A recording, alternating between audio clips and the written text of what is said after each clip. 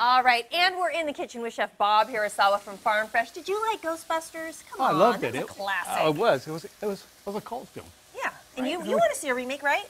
Yeah. All right. Oh, well, yeah. right, what are you Just- making? What are you making in Well, here? we're, g- I'm just gonna get started a little bit quickly, but we're gonna make a. We're gonna do a stuffed Honeycrisp apple. Mm-hmm. We're gonna fill it with some savory stuffing. And we're gonna do uh, turkey, some wild rice, few different flavors. make Honey kind of- crisp apple. How can mm-hmm. you fit all that stuff in an apple? That was a lot of stuff you just named. well, you're gonna you're gonna fit it I'm in. gonna so, help you out. yeah. All right. absolutely. Okay, so we'll be back. We're gonna get to cooking. It's kind of like a fall theme in here. It is. All mm-hmm. right. So we can't wait to get started. Stick around.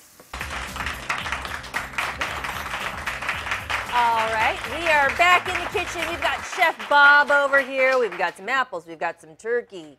We've got a whole lot of little other goodies that we're going to be stuffing into an apple. Where was Stuff- your inspiration? Where'd your inspiration come for this dish? I, I don't know. Just you know, it was we've we've done stuffed uh, acorn squash and stuff like that. I just wanted to do something kind of fallish. Okay, you know, so and fallish. So where do we start? So we're going to start with the apple, and you're going to start showing me how you're going to do got some- my Yeah, we're going to end up trying to get the vessel, and this is a Honeycrisp apple, and it's going to end up being like this, hollowed out. That looks so and, perfect. And you're going to you're going to do it. You're going to make cut All the right. top off a little bit, just to kind of top off? Okay. Then core it down. Okay, but don't go all the way through. You were saying. Uh, yeah, if you can't, but you go ahead. Yeah, keep on going. You can go all the way through because we're going to seal this all. There you go. And now pull that out. All right, I don't think I did enough. Well, that's good. Okay, now you're going to go ahead and finish this, finish scooping out, and then Okay. put, put save the uh, good meat over there if you can. Okay, I got to follow my example over here. Yeah. And what I'm going to do is I'm going to go ahead and start the stuffing. Stuffing here is going to be kind of a basic thing. It's going to we're to use the ground beef, uh, the ground turkey. I'm sorry. Mm-hmm. That's going to be. So we're going to do a little onion, a little celery. You've already cooked off the, the ground turkey. You just put what a little bit of I salt and pepper on it. Yeah, a little salt and pepper just for flavor. So Whoa! Hey, you didn't go. tell me there's gonna be flames Hey. today. I'm thinking it's nice. Okay. Apples, turkey, and then there's flames. Hey, the flames. You know, got those campfires going in the fall, right? Yeah, hello. There you go. Okay, and we got that going there. We're just getting a little flavors kind of coming up. Mm-hmm. We're going to add to that a little bit of wild rice. And I've just done that, that pre-cooked stuff. Again, that 90 second bag. Mm -hmm. Make it easy on yourself. Don't go through. Okay, so we've got the onions, the celery, the wild rice. I am still coring my apple. What else? app. I'm going to do a little dried cranberries. How about that? Dried cranberries. Cranberries in there. How about a little pecans? You like pecans? Not so much, but I'm sure uh, it'll work. Just being honest. Okay, well, you were, you're supposed to go with me. Okay, yes, I love pecans. Pecan, pecan. Yeah, we're just getting that kind of working there a little bit. Mm -hmm. And then we're going to do a little seasoning with salt, uh, pepper, I'm sorry. And yeah, we're going to do a little bit, how about some Italian seasoning here, or you can just use some sage. And I got a little cinnamon for flavor. So what is the flavoring going to end up like when you put all these things together? What kind of taste will we get? Fallish.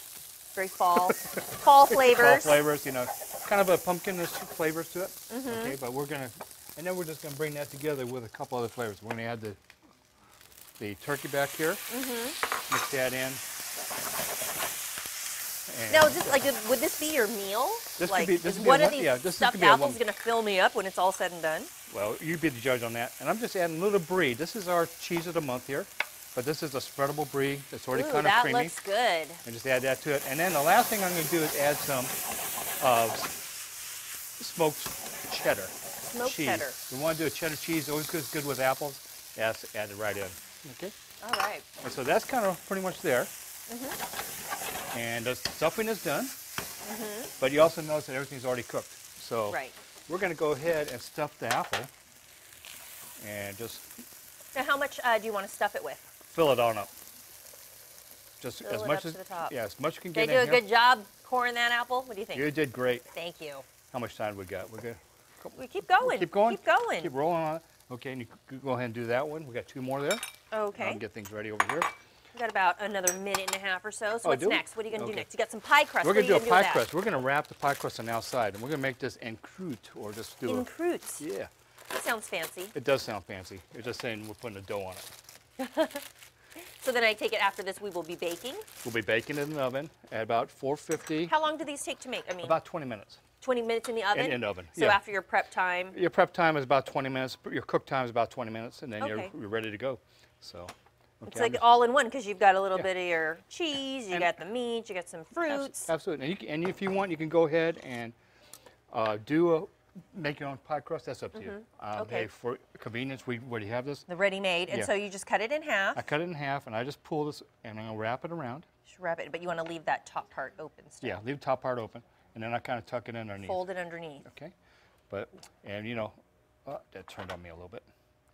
Live TV, right? Okay. You miswrapped. I'm- no, that's okay. I'm, you know, I'm just really concerned about the flavor at the end. I know Well- you're all about presentation, but I'm just about how it tastes. Oh well, hey, you know, it's, hopefully you're going to be a judge of that too, because we got. You can taste that. Why don't you taste that? See what you think of the stuffing. All right, Next well, year- I'm going to taste that. Okay. Um, we are going to be wrapping this up. We're going to be baking Okay. it, and then we're going to be talking a little bit about dessert and other stuff And going on dessert at Farm and Fresh, wines. and maybe wine. We'll be talking Uh-huh. wine.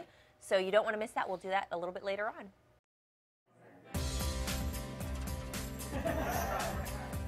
Pork wine. We're back in the kitchen now with Chef Bob Hirasawa from Farm Fresh. And you know, last time we were stuffing some apples with some autumn feast goodness.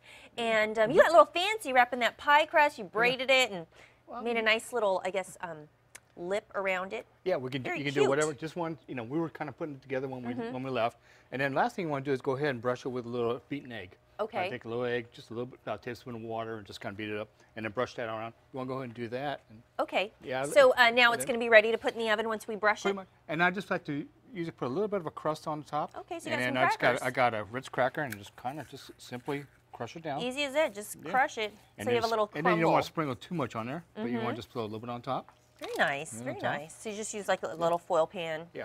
And um, then and then you're going to put it in the oven. Put in the oven. What does he say? 450 for about 20 minutes? about 20 minutes, and you want to just get get it um, browned off. Here Mm-hmm. we go. Just go in the oven. All right. Put this in the Don't drop the apples. yeah. And I just want to also mention that we did do uh, Of started course. it off with We the uh, with the um, uh, turkey, ground turkey, and that's part of our new line, the whole whole harvest. Uh, Mm-hmm. right. The harvest line. hormone free. hormone free, um, antibiotic free, you feel like you really then- can taste the difference? and then here we got the finished product. Can you taste the difference in that hormone free? Uh, it does taste. It, it tastes. It tastes cleaner. Mm-hmm. It, I mean, it, it, it's you know it, the main thing I guess it doesn't taste any different, but you know it is better for you. Right. Okay. And then here's the apple. So of course crumb. we have a couple that these ones are already done. Right. And our baked stuffed apples. And then and then I just want to kind of cut into one. So how many do you eat in one sitting?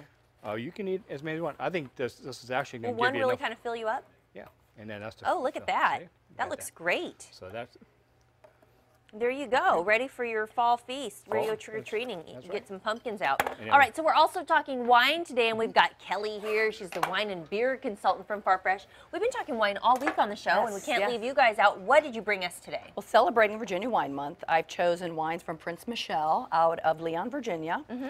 And two grape varietals that people forget that really do very well in Virginia is the Viognier, which is the white, and then mm-hmm. we've got a Cabernet Franc. And they do great in the Virginia climate. Um, you've seen Cabernet Franc originated in France, and as long as as well as Viognier. Mm-hmm. And now this is a perfect climate, Virginia, and these are great wines celebrating our heritage here in mm-hmm. Virginia. What do you like in particular about these ones? Uh, I like the Viognier because it's got a little bit of body like a Chardonnay, but it's totally different than a Chardonnay. So if you have a lot of Chardonnay drinkers, uh, or non-drinkers actually, then I think they would really enjoy the Viognier because you'll hear people say, I don't really like Chardonnay, but they like the texture. This is a perfect wine. It's got a little bit of mango on it. Ooh, that and then, nice. And the Cab Franc is comparable to a Cabernet Sauvignon, so it's going to be heavier, um, great in the wintertime when it's nice and chilly out. All right, so you're the resident beer and wine consultant over there at Farm Fresh. Yes. How many wines do you guys keep available? Oh my goodness, thousands. Really? well, no, not probably not thousands. How do you get to know But- them all? Well, and you know, every day you're in the same store, so you do get familiar with them. Mm-hmm. And when you get wonderful foods like Chef Bob prepares, and Mm-hmm. then you get these pairings, and it's just, it's so much fun to try and.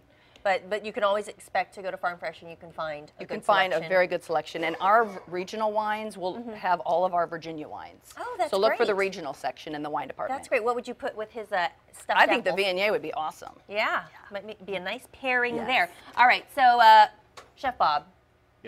And we have we can't end the segment without talking about the desserts you brought, and then Yeah. also some of the food drive items. So let let's take a look over here. Those cookies have been looking at me this whole show. Well, the cookies are on sale this week, but we also want to feature. We got some, some our, of our gourmet uh, uh, fresh fruit pies. Okay, and what pies did you we- bring? We brought an apple pie and a cherry pie, and these are our lattice uh, work pies.